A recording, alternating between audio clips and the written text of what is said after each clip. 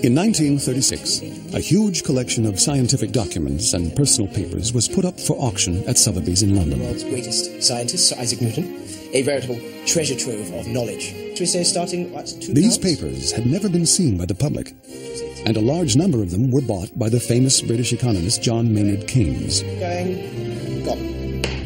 Many were written in secret code, and for six years Keynes struggled to decipher them. He hoped they would reveal the private thoughts of the man who invented a new branch of math called calculus, figured out the composition of light, and gave us the laws of gravity and motion which govern the universe. The man who is considered the founder of modern science, Sir Isaac Newton. Newton ushered in an age, the Newtonian age, and it was premised on the concept that everything, virtually in the universe, was amenable to scientific understanding. Newton's work has a beauty and a simplicity and an elegance that makes it the greatest work of science ever done. But what Keynes found shattered his image of Isaac Newton. For in these manuscripts, Keynes discovered an Isaac Newton unknown to the rest of the world. An Isaac Newton who seemed obsessed with religion and devoted to the occult. He is known today as a sort of a high priest of the age of reason. But this is a misconstruction of Newton. The modern interpretation of Newton is about as far as could possibly be from what Newton himself thought. On the one hand, we can recognize him as a scientist, but on the other hand, he's pursuing an activity which we now label as a pseudoscience. Now, scientists and historians are trying to reconcile the Isaac Newton they thought they knew with the Isaac Newton they're discovering in his private papers. Our project now must be to see Newton the way that Newton was, rather than trying to see Newton the way we want him to be. What are these mysterious documents revealing about one of the greatest scientists ever? Newton's Dark Secrets, right now on Nova.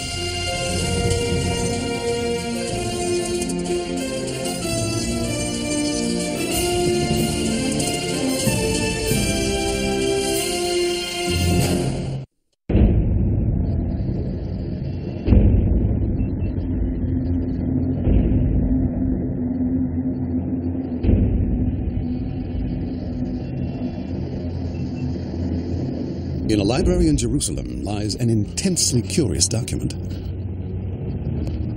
It was written about 300 years ago, and only a handful of scholars have ever examined it. The author was arguably the most important scientist of all time, a genius who uncovered the laws of physics that govern the entire cosmos, Sir Isaac Newton. The subject? Newton's calculation of the date the Bible said the world as we know it would end in the Battle of Armageddon, the year 2060. If this calculation were correct, then we are close to the, the time of the end.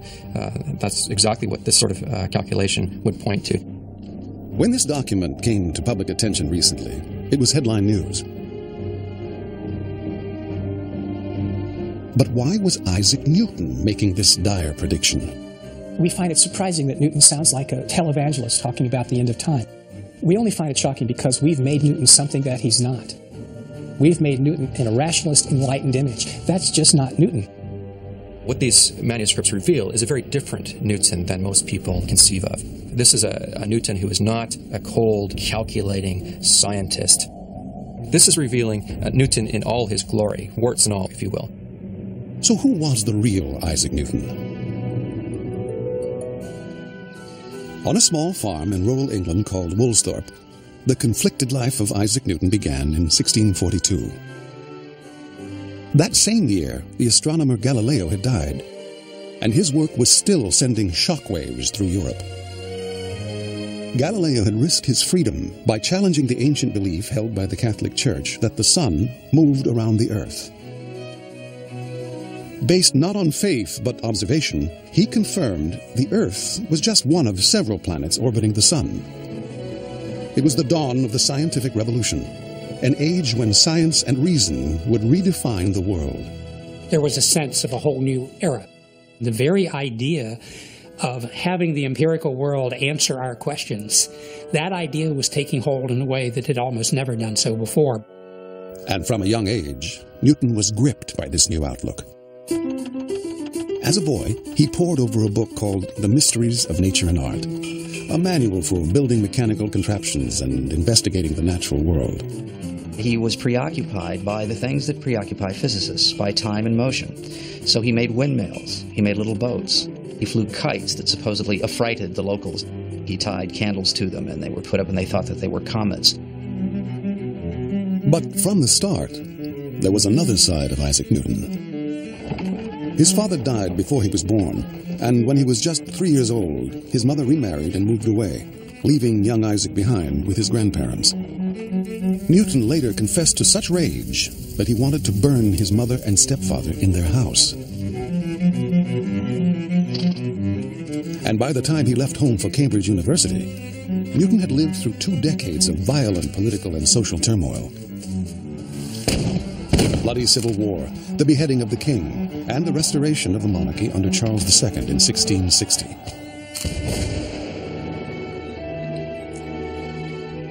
At Cambridge, Newton buried himself in his studies. Truth is the offspring of silence and unbroken meditation.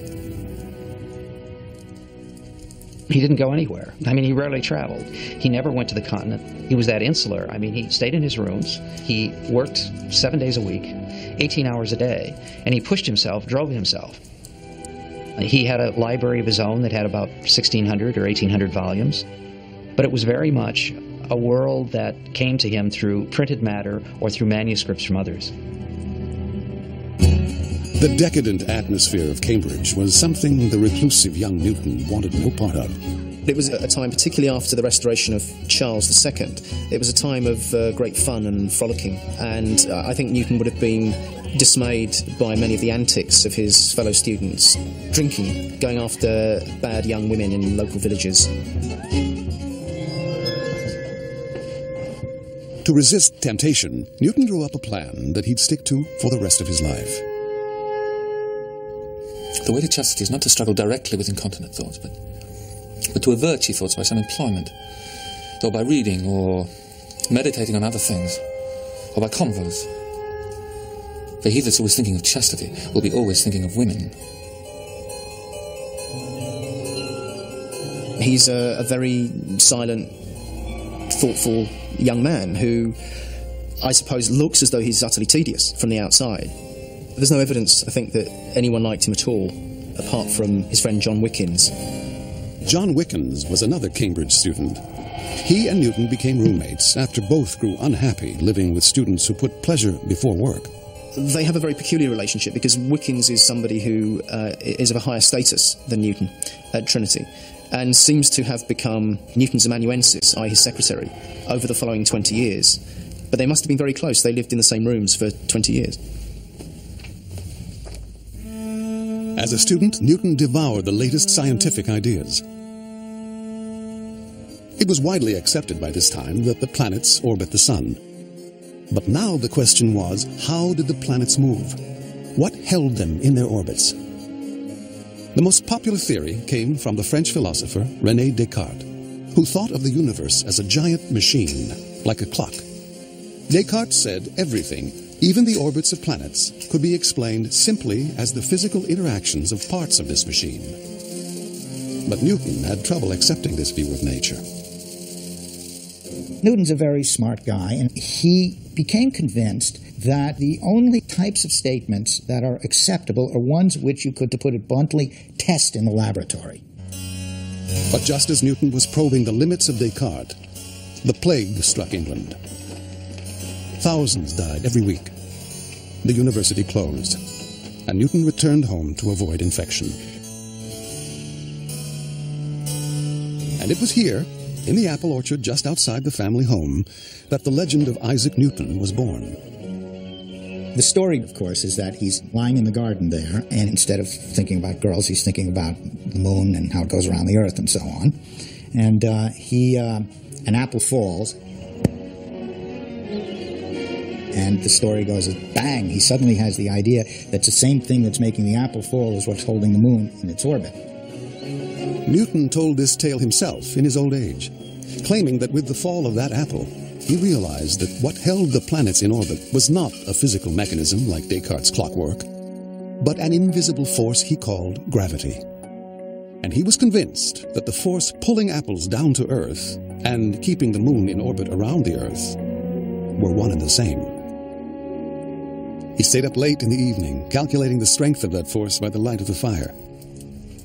But when the numbers didn't quite work out, he put the idea aside. Or so the fable goes. I doubt that an apple was what stimulated him to get the idea. It's almost certainly an apocryphal story. yeah, I don't think it's even known whether it ever happened. I'm extremely skeptical about the role of fruit in Newton's life. But there is no doubt that the motion of objects like apples and the moon captivated Newton at this time.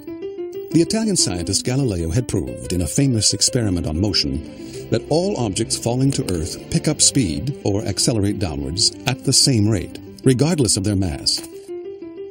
And finding the average speed of a falling object was a straightforward process.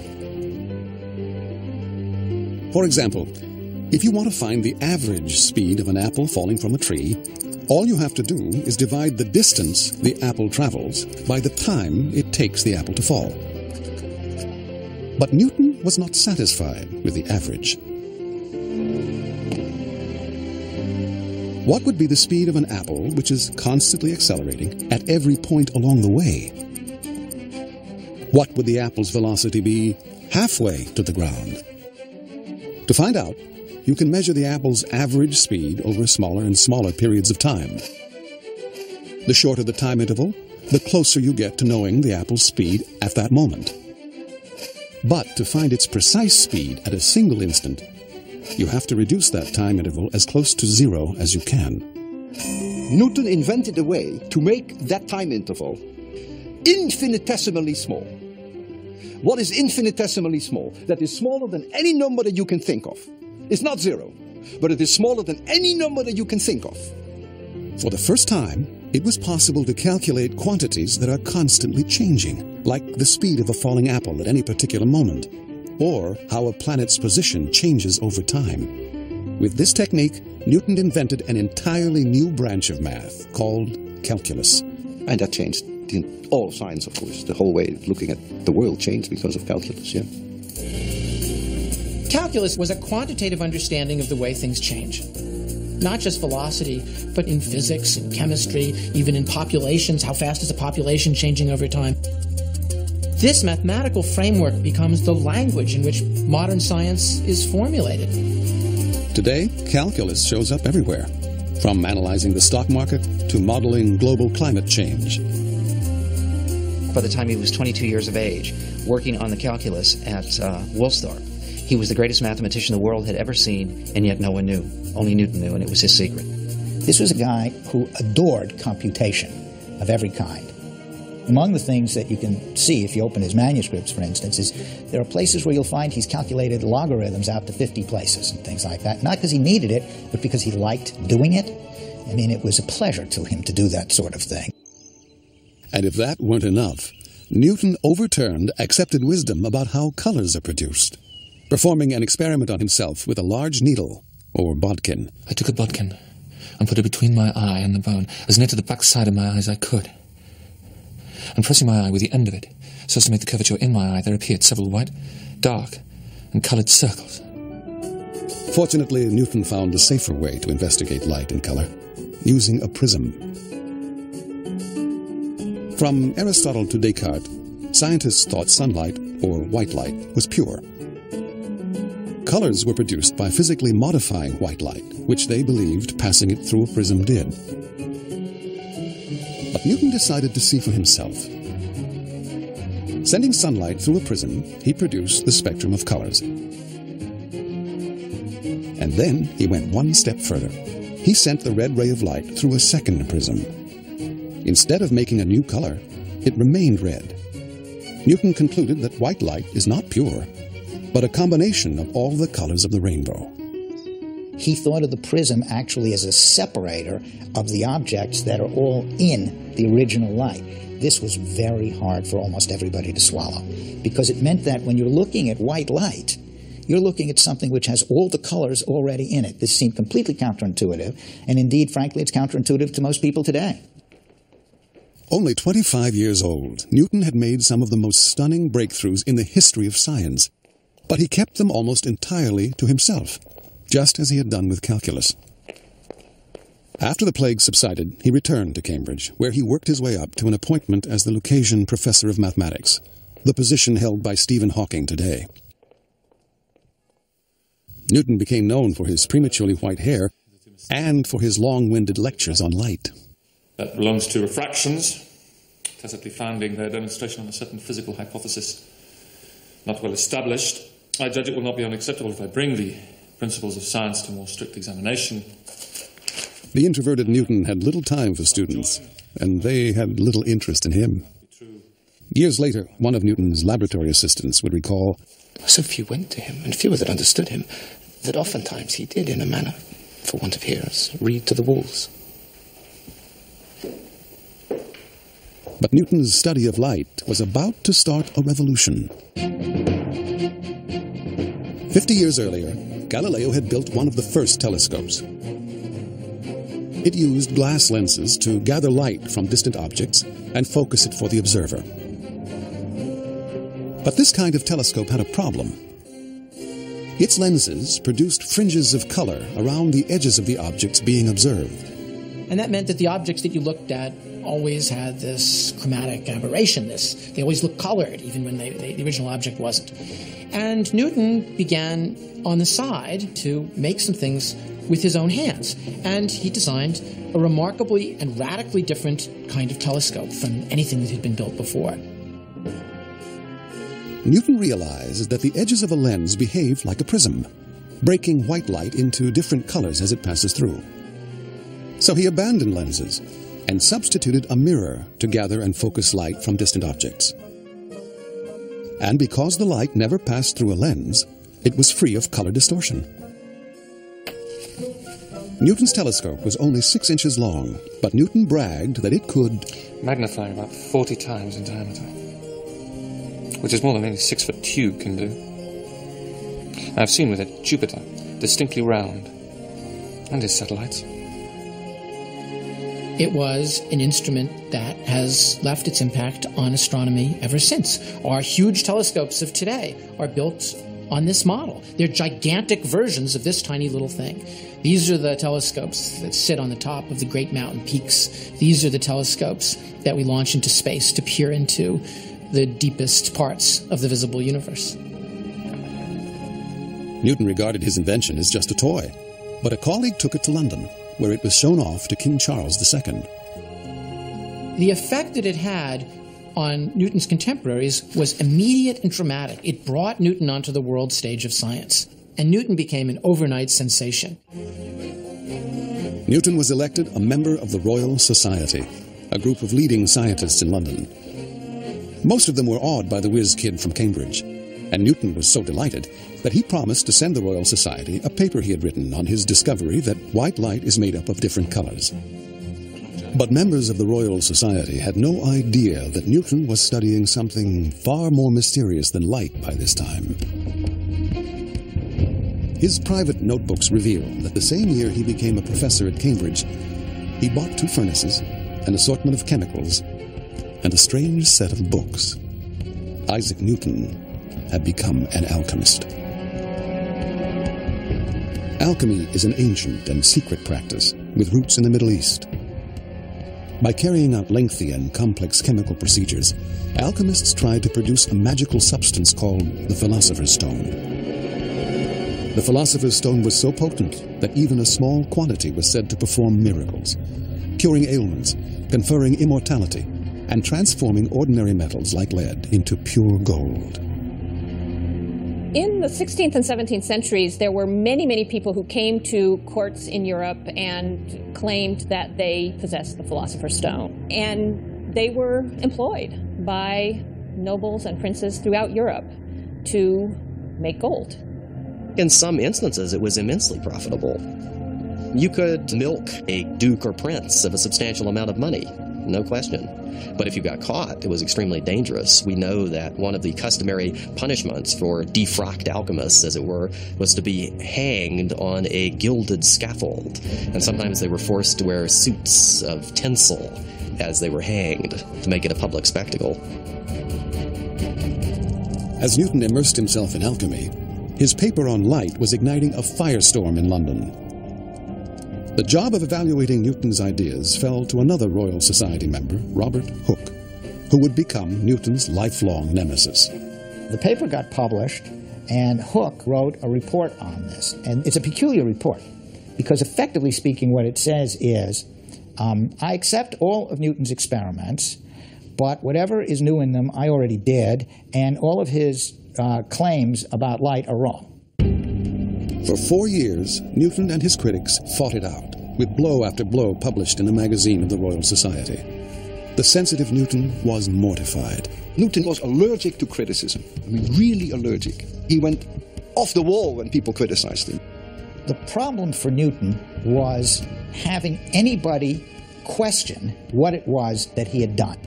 He didn't want to tell anybody about it in the first place, but if he was forced to do it, you sure better believe what he said. He cannot convince as many people as he wants that what he said is true. And that defeat, if you like to call it that, was very bitter for him. And by the mid 1670s, he's withdrawn completely from the international world of science. Newton vowed he would never publish a scientific paper again.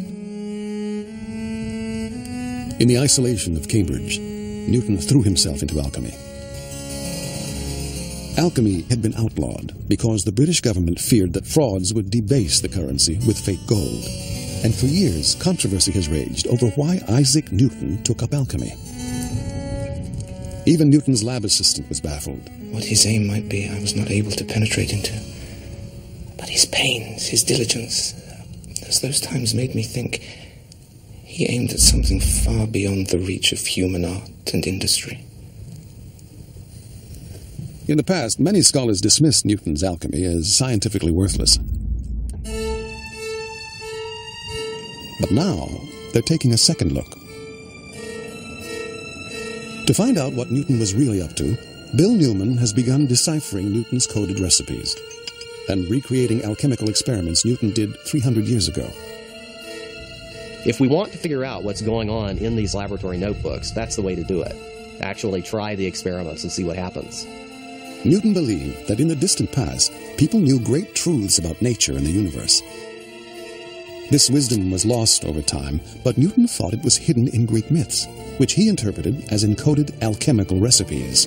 In some instances, he interprets the myths in a very, very exact way so that they correspond to actual recipes. But getting these recipes right is no easy matter. Like all alchemists, Newton concealed his ingredients in bizarre sounding terminology. Our body, thus compounded, is called a hermaphrodite, being of two sexes, and it is both father and mother to the stone. He used very colorful language that's typical of the alchemy of the time. For example, he talks about the green lion, the sordid whore, and the menstrual blood of the sordid whore. These are terms that had very specific reference in 17th century alchemy. One of Newton's recipes, called the net, comes from the writings of the Roman poet Ovid. In his poem The Metamorphosis, Ovid tells the story of the god Vulcan catching his wife, Venus, in bed with the god Mars. According to the myth, Vulcan made a fine metallic net and hung the lovers from the ceiling for all to see. In alchemy, Venus, Mars, and Vulcan mean copper, iron, and fire. Viewed this way, the myth becomes an alchemical recipe.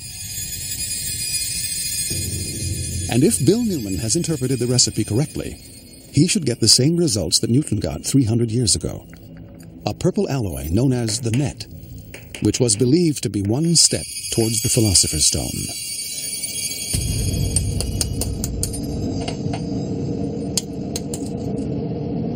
Behold the net. It worked. A purple alloy with a striated net like surface. Worked perfectly. By recreating these recipes, Bill Newman is finding that Newton's alchemy contained key elements of modern science. It was a systematic process with results that could be reproduced and verified. And historians have also discovered that Newton was not alone in pursuing alchemy. Other scientists of the day, including members of the Royal Society, were alchemists too. Perhaps Newton's alchemy was less an occult practice than another way to investigate the natural world. Alchemy was really matter theory. Alchemy was a science which pursued the most basic questions of what is the earth, what is all of the universe made up of, what are the components of matter. It was a profound element to the practice of alchemy, which really makes it deserving of being called early modern chemistry. He's not a madman playing around with strange spirituous substances.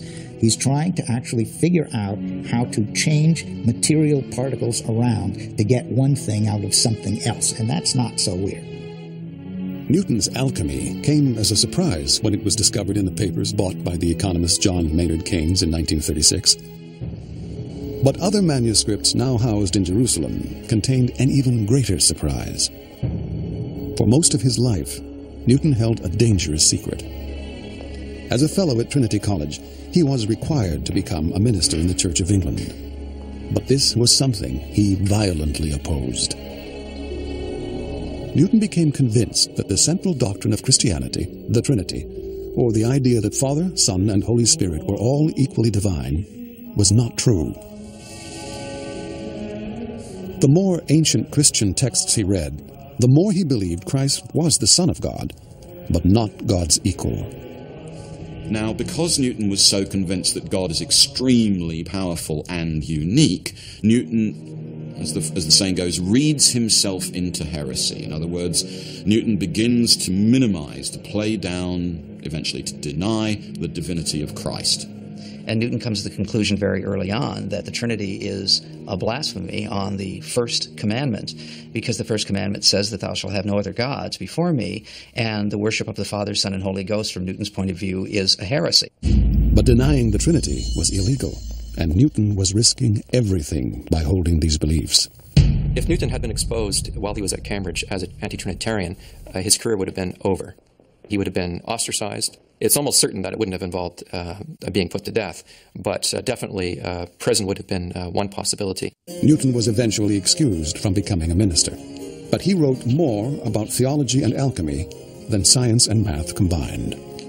Only recently made available to the public at the National Library in Jerusalem, these documents are now revealing that for Newton, religion and science were inseparable, two parts of the same lifelong quest to understand the universe. Newton himself wanted to design a universe in which God was absolutely present and absolutely powerful. There's an enormous irony there. In the 18th century, gangs of interpreters, most of them French, will take the God out of Newton's world.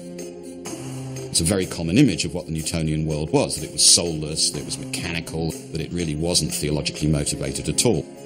Now, ironically, that's very anti Newtonian because Newton argued that God had to be present. You couldn't read him out of the universe. The most beautiful system of the sun, planets, and comets could only proceed from the counsel and dominion of an intelligent and powerful being. Newton owned more than 30 Bibles, and he examined them as rigorously as he did the natural world. Correlating biblical passages with astronomical information, he redated ancient history drawing up elaborate charts and chronologies that show civilization starting around 980 BC. I have hundreds and hundreds of pages of computations and workings and reworkings where he tries to probe this over a period of close to 30 years. Time and time again, he'll come back to it, calculating and recalculating, trying to make it work just the way he tried to make his theories of light work. With the same fervor that he brought to science and math, Newton also combed the Bible for keys to the future. What he was trying to do is determine when the end would come, when Christ would return, when all the apocalyptic events of the end times uh, would, uh, would come to a head. And that date is now alarmingly close the year 2060. Newton is not a man who keeps his theology in a box that he brings out only on Sundays, and then a man who does his science as a working man the rest of the week. Newton sees his work as a seamless unity, and his project is to understand the truth of God. Most people today think of religion and science as completely different spheres. In Newton's day, science, the investigation of the natural world, was a part of religion. It was all questions, in some ways, ended in divine knowledge. Alchemy and religion might have continued to dominate Newton's thoughts.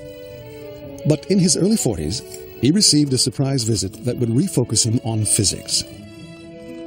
It was the astronomer Edmund Halley, now known for the comet named after him. He asked Newton an esoteric sounding question about planetary orbits. My question is this What kind of curve would be described by the planets, supposing the force of the attraction toward the Sun to be reciprocal to the square of the distance from it?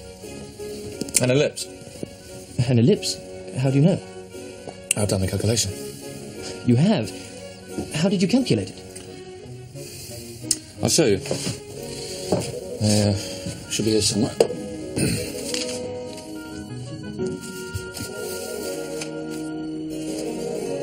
uh, don't worry, I will redo the calculations. I'll send you a copy. Halley's question would change science forever. Through years of observation, scientists had discovered that the planets move around the Sun not in perfect circles, but in slightly elongated elliptical orbits. But no one could explain why. Halley and many other scientists had begun to suspect that the planets were attracted to the Sun by some kind of force. They guessed that this attraction became weaker with distance in a mathematical relationship called the inverse square law. For example, the inverse square law says that if a planet is twice as far from the Sun, the gravitational attraction it feels is four times weaker.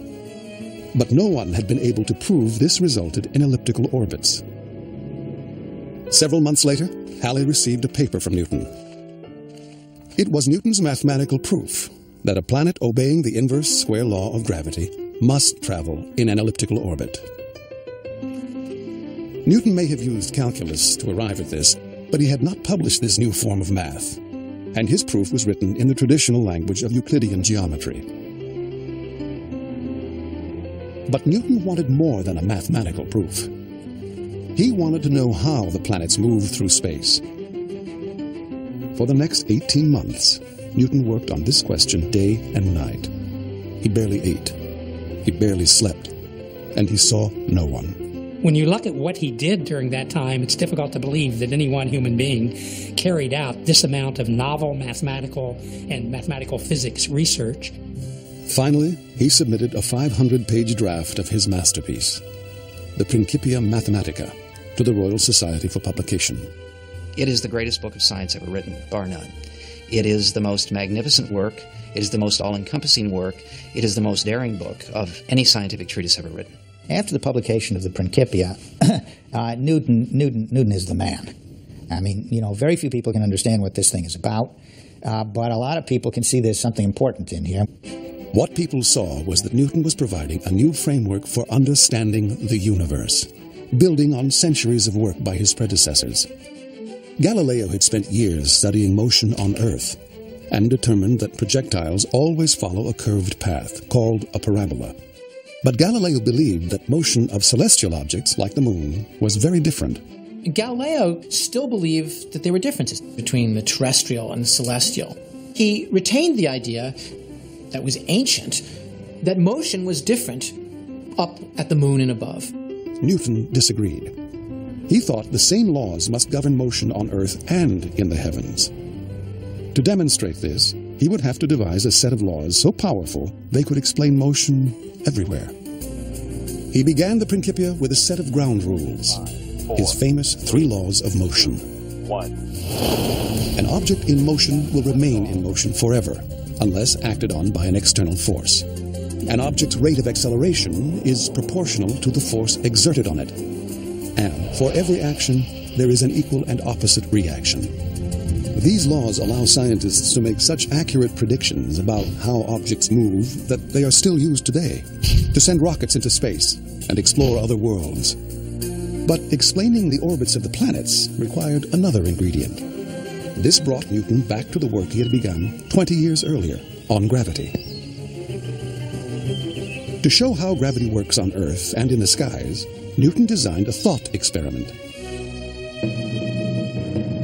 He imagined firing a cannon from the top of an extremely tall mountain. From his first law of motion, he knew the cannonball would travel in a straight line at a constant speed forever. But gravity pulls the ball downward. If its speed is low, the cannonball hits the earth near the mountain. The higher the speed, the farther away the ball lands. If you throw it faster, it comes farther away. Even faster, farther away. Even faster, it may go a thousand miles. Even farther, it may actually go almost halfway around the Earth and there hit the Earth. Newton imagined that if its speed were high enough, the cannonball would travel all the way around the Earth and settle into orbit. The orbit of the cannonball around the Earth was a balancing act between the cannonball's tendency to fly off in a straight line and its being yanked back towards the center of the Earth continuously by the force of gravity. So, in Newton's picture of the world, there were two things the natural tendency of an object to travel in a straight line, which was true on Earth or in space or anywhere, and there was the attraction of gravity, which was true on the surface of the Earth, and it was true up in space. Newton's breakthrough was to see that the moon's orbit around the Earth and a cannonball's motion on Earth were governed by the same law of gravity. That is a beautiful way of persuading you, me, and probably his colleagues that cannonballs falling to the Earth and the moon falling to the Earth is one and the same law of physics, gravity. The moment that he realized that, almost everything else follows from that. Newton reasoned that if gravity governed motion on the Earth and the Moon, why not on Jupiter and its moons, which he had seen with his reflecting telescope? Why not the entire solar system? In a bold leap, Newton proclaimed that this invisible force operates everywhere in the universe. It's an incredible leap. It's beyond anything anybody had imagined at the time. Newton called it the universal law of gravitation, and he wrote it in one simple mathematical equation. It's so important because it really tells us how nature operates in a fundamentally new way. Newton is saying the same thing that is going on in the heavens is going on on earth, and vice versa. It gives us a guidebook to answering the age old question of what causes the rise and fall of the tides. It gives us answers to the orbits of the planets and their positions. It's a tremendous act of intellectual triumph, one of the great keystone, cornerstone pieces of our intellectual heritage. It was a total revolution. The universal law of gravity was a complete revolution the way that we think about the world, the solar system, therefore the universe, whatever the size of the universe was in those days, and therefore the way we think about ourselves. The Principia showed a promise that gravity by itself could account for virtually all the motions we know of in our planetary system. And the rest of science to this day has built off of that foundation. Newton turned out to be more correct about that than he could possibly have been confident of. But Newton was not able to enjoy his success for long. As soon as the Principia was published, Newton's old rival, Robert Hooke, claimed he had come up with some of the key ideas first. And later, others attacked it because Newton did not explain what gravity is, just how to calculate its strength. Newton himself didn't understand it. How can this object attract this object? There's nothing in between them. That seemed to them as going back to some sort of an occult philosophy. In fact, some think Newton's idea of gravity was related to the occult practice of alchemy.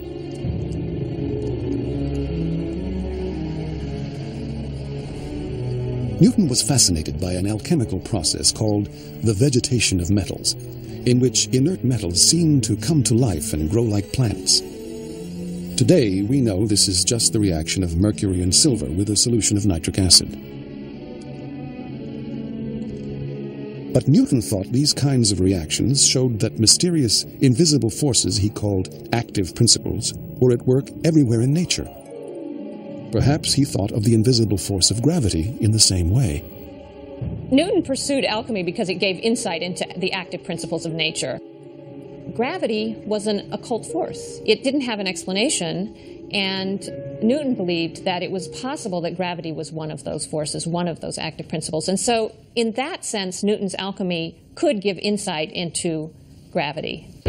Yet, by the early 1690s, after more than 20 years of research, Newton's alchemical experiments had yielded no scientific breakthroughs like those he'd made in math and physics. We're not quite sure exactly what he was trying to do. He certainly was looking for something. And, you know, it's obviously something quite big, and he obviously did not find it because he opted uh, not to publish anything uh, about it. I think there's no question that he was disappointed because he was looking for ultimate answers to questions. And he had failed in alchemy, as he had not failed in any other pursuit. Finally, Newton had what many think was a nervous breakdown. He made wild accusations against his few friends, charging one, the philosopher John Locke, with trying to embroil him with women. Locke is puzzled by the whole thing. You know, what is what's up with Isaac there? He wasn't running a brothel on the side and bringing Sir Isaac to it. When Newton explained that he was sick and had gone without sleep for five nights, his friends forgave him. He was knackered. If he had a breakdown, I think it was probably because of exhaustion. Whatever the cause, Newton's illness was brief. Within a few months, he seemed to have regained his composure. And soon, a strikingly different Isaac Newton began to take shape. Newton moved to London and was appointed Master of the Mint, a well paid job that put him in charge of issuing new currency and cracking down on counterfeiters. About two dozen counterfeiters were executed while Newton was in charge. Newton became a Member of Parliament, President of the Royal Society, and was knighted. He commissioned at least 14 portraits of himself. It is an extraordinary change. He's very much this icon, and he settles into that role, I think, in London, and uh, likes the, the role of the great man. A year after Robert Hooke died, Newton published his second great masterpiece, Opticks, which expanded on his work with light. At the end of this book, Newton finally wrote up some of his key ideas about calculus, 40 years after they were conceived. And although he had given up alchemy, he continued to devote himself to theology. Right up to his death, he tried to keep his heresy as secret as possible. And he thinks there's no point trying to convince these people of, of what I'm doing because the time is not right. These people aren't fit to receive uh, the kind of word that I'm giving out. Newton died in 1727. He was 84 years old. He was buried among kings and queens in Westminster Abbey, beneath a monument to his scientific achievements. His alchemy and passionate but heretical religious beliefs virtually unknown. Now, two and a half centuries later, a new picture of Sir Isaac Newton is emerging, along with a new understanding of the roles that science, religion, and alchemy played in his life. He sees his world as one world. He sees his pursuit of truth as one pursuit. And whether it takes him to books of theology or to books of nature, whether it be books of uh, astronomy or books of alchemy, it doesn't matter to him. What Newton does is brilliantly to use the tools appropriate to every field in which he worked. He's an ingenious and energetic builder who's astonishingly brilliant at composing gorgeous monuments of the most intensely clever design. Sometimes these appear as great books, like the Principia itself. Sometimes they appear in experiments, but we would be wrong to look for a single key which unlocks the whole mystery of Isaac Newton. Man was a complete genius. I mean, people like Newton, if I shoot off the hip, maybe once in 500 years, at best.